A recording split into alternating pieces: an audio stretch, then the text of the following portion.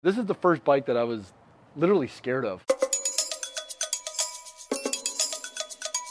Okay, if you're new to this channel, guys, I'm Johnny Nerd Out. I take bikes and I convert them into amazing e-bikes. Generally, whatever, whatever the customer wants, they dream it, we build it. This is, obviously, you can tell what kind of person this is. They got a super high-end, full suspension bike. This is the Polygon Siskiu T8. Just a really nice, smooth, full suspension bike. All right, so these got 29 by 2.6 inch tires on it. These are monster truck wheels. They're fat and big. These will go over anything. And you couple that with a full suspension on it, and it's not a junky full suspension either. These are Fox components. This thing is like a cloud. You're riding over on a cloud. Okay, now I want to I want to talk about I'm going to get to everything else, but first I want to talk about the drivetrain. We've done X1 Pros before. This is the Gen 4 by CYC. You know, these are these are probably the most powerful motors out there. They're capable, with the X12 controller, these are capable of pulling 80 amps. And a 72 volt battery, as you guys all know, is 84 volts max. So 80 times 84 is over 6,000 watts. That's like nine horsepower. It's it's crazy. And this bike weighs probably 50 pounds. I'll have to get my, I'll get my weight out here and I'll, I'll, check it out. But this is about 50 pounds. So you do the horsepower to weight ratio on that and it's like five pounds to every horsepower. But not only that, it's also how you gear it. This thing is ge geared for torque. And I'm gonna show you a video here in a second of me trying to not wheelie on this thing. But we went with a small chainring up front. It's a 32 tooth. And then you can see this massive pancake granny gear in the back. This is 51. So when you got a 51 tooth by 32 teeth, by 6,400 watts, it means just more torque, more power than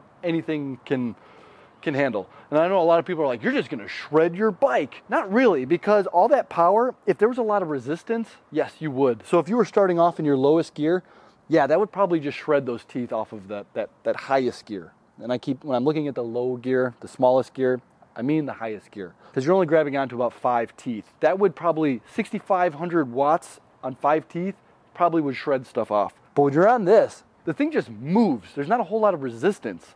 And that's the thing, it's like you're just gonna break your bike in half. Not if you ride it properly. If you're riding this thing correctly, you will not break it. But really quick, I wanna show, here's, here's some footage of me trying to not wheelie. I'm trying to lean as far as I can over while still being able to hit the throttle.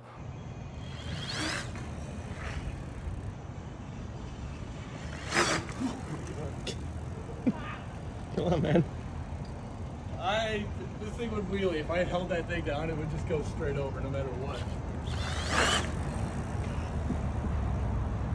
And you can see it's, I, you can't do it. it was just, it was crazy power.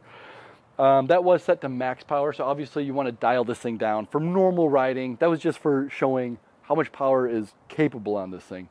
What I would do is I would dial it down. I'd put set this thing to nine levels of assist, ride it on like one or two. And with the ride control app, you could slide the power super easy. So you can make it, hey, I want pedal assist one to just be 500 watts max. I mean, you can make this thing a street legal setup. I know a lot of you guys are out there like, this thing is illegal, you're ruining it.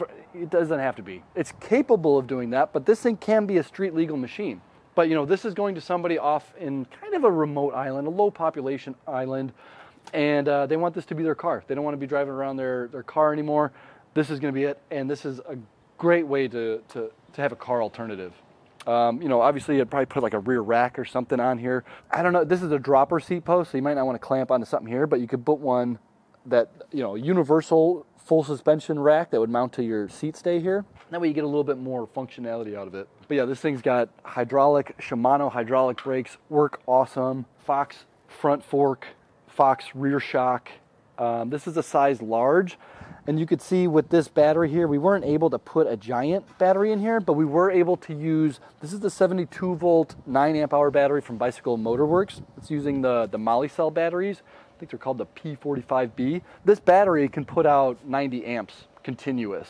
Um, but you know, the, the X1 Pro only pulls 80, so this is well within its operating realm. You know, so it's not gonna be straining that battery at all, which is crazy. Those Molicels are put out crazy crazy power. I think it's like 45 amps a cell is what that's doing because that's two parallel. Yeah, I'm not, I'm not even gonna do a hill climb test on this. I'm not even gonna do a top speed test on this. You guys know the top speed on this is gonna be over 50 miles an hour. The hill climb test, I, I would just flip myself over if I even tested it. So it, it, for me, I'm like, it's pointless. I'm just gonna have to do half throttle. And at that point, why even show the test? or I'm gonna flip it and ruin this bike before I ship it out to the customer. So I don't want to I don't want to do either one of those. But you can imagine what kind of hill climbing this would do. This would climb this wall if it had the glue on the tires. Trying to think of anything else I want to talk about with this bike, but no, I mean it's got the dropper seat post. Uh, we went with oh we also we put on the uh, CYC headlights on this. This is really cool. It's got the dual beams. So dual headlights and it's got the yellow and the white headlights. And this runs in line with the CYC off the XT90s. Super easy to install and it comes with a little rocker tail switch here. I got this on my CYC bike. I wish it had a tail light thing. I wish that's something that they would work on.